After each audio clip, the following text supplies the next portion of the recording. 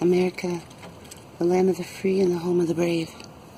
If we aren't brave, we can't be free.